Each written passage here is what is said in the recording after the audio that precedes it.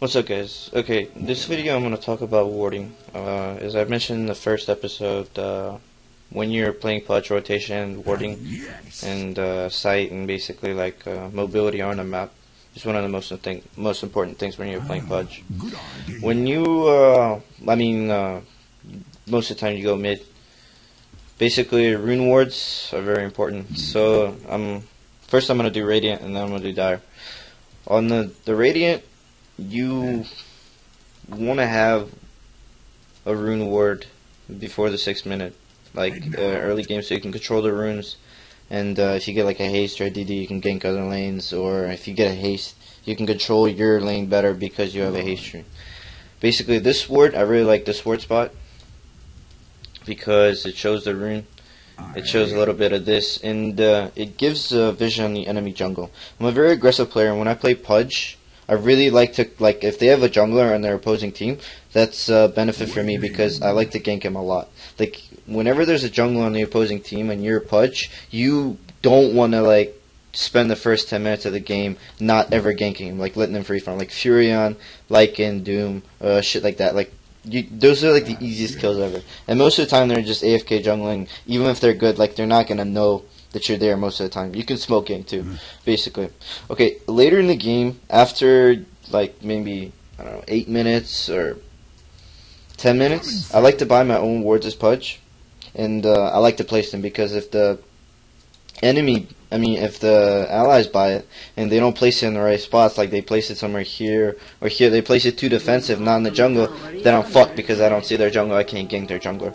This is one of my uh, favorite warding spots ever right now if I'm playing Radiant because it's never gonna get countered. Like people counter here, people counter here. This this is like the most obvious spot ever. Like if the opponent know that like you see them, like you hook them once, and they're like, "Oh, how did he see me?" They're gonna do deward here, but they're never, ever, ever gonna think of here. This doesn't block this camp, but this one sees this, this camp, and this. I mean, it's just really efficient.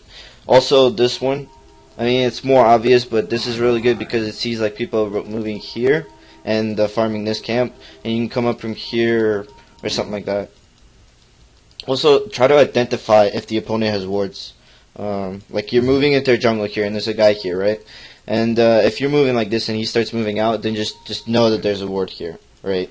If you're laning here and it's night and you're standing here and the opponent is here, and uh, suppose you move here, he moves like to the left of the creeps and then you move here and you're like far, far away from the creeps night range right? They don't see you. And you move here the guy moves to the right. That means there's a lane ward mid. And most of the time you either want to deward that or go to other lanes to gank. This is a great word uh, for radiant or dire because it, it just gives you so much this this this here. It's, it's amazing.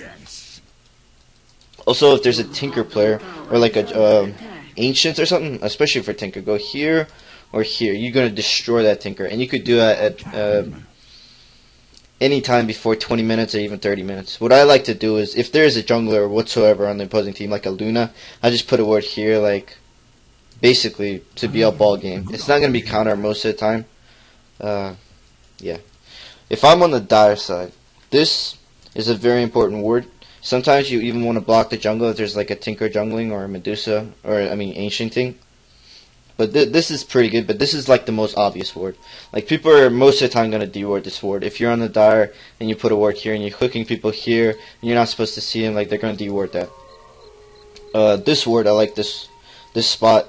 Like 10 minutes in or something like that, when they go to the jungle, I mean to to the fucking ancient, you can hook them and basically wait here. Like if there's a Tinker player in the opposing team, just wait here like he doesn't have a Boots of Travels yet, and you know there's a couple stacks. Just way here with a smoke or some shit, and just like there's no place he can go. He can only go here, or he can only go here.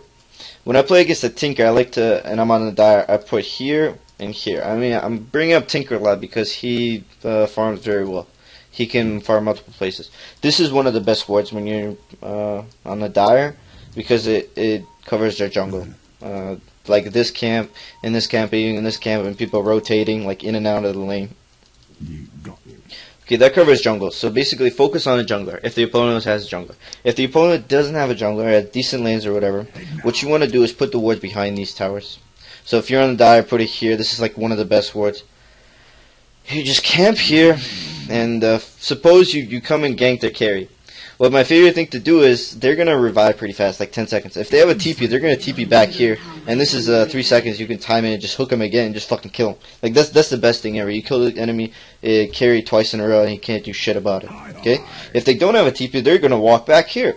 And uh, I mean, there's no place they can go. They can't jungle if it's like a void or something. He can't go jungle because he's 200 leveled. So he's gonna go here. And if they don't know, like they're not gonna expect you most of the time to just stick around here. So he just goes in a straight line here. He doesn't see you. You see him. You just destroy him. Okay. Uh, same thing for this here. Uh, Radiant. You put a ward here. You could see the jungle, you could see this, and he's going to walk back like that. You can hook him. He's going to TP in, you can hook him, and just wait here in the trees, and you're going to be fine.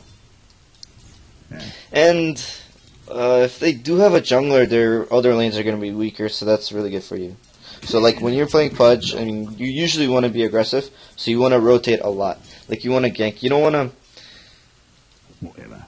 Uh, okay, I'm gonna go into another video, but okay, what else? Uh, this this is a great ward. Like anywhere behind these, even here, like it's awesome. Like if you won your lane or you're controlling the map, don't let the opponent farm. Like you you know, like if they can't lane against you, right? And they're nowhere on the map. You know that they're either here or here or here. Like they're they're farming. So just go there. Like assume if they're not there, and uh, just wait for them there. Like straight up, just fucking wait. Like go in the trees here. If I know that somebody's gonna farm this or this, like I just wait here, or I just rotate. Uh, this is also a good warding spot, and this, yeah, I already talked about it. What words you don't want to do is uh, this is stay away from the obvious wards. Like if it's like 10, 15 minutes, 20 minutes into the game and you're still warding here, here, here, here. These are really, really obvious wards. They're gonna de get dewarded, and uh, once they get dewarded, you don't want to place them on the same side. Uh, also, sometimes use smoke to place wards. Like for example, if they know if they, you know I have a ward here, but you want to like ward here, just smoke, go ward here, and just go back right? And then just wait for the jungler or some shit. What else? Um, lane ward is pretty important. Like, I mean, if you want, actually, yeah. When the first ward duration is up, so in six minutes, I usually, like, if I'm on uh, Radiant, I put a ward here. I go into a jungle. Even if they don't have a jungler, most of the time I put a ward like here or I put a word behind their tower. And same thing for this. If I'm gonna die, I put a word here, here, or here, depending. I don't know. Just you can you can switch it up. Doesn't really matter. And then you go here. Don't put the word here. You want to be aggressive. You want to put the word here, or you want to put here.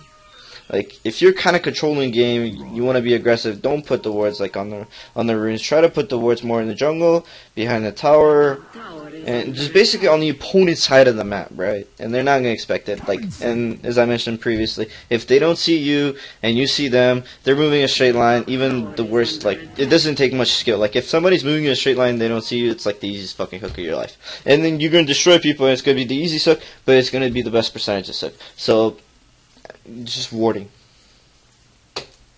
Thanks for watching.